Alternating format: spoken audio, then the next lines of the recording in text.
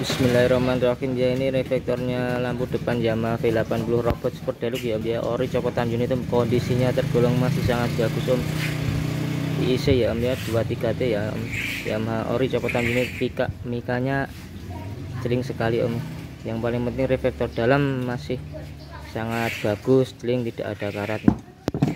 Ini udah set sama lampunya ya om ya. Hidup nih saya kasih nih lemnya juga masih ada tinggal pakai saja. Utuh tanpa retak tanpa pecah.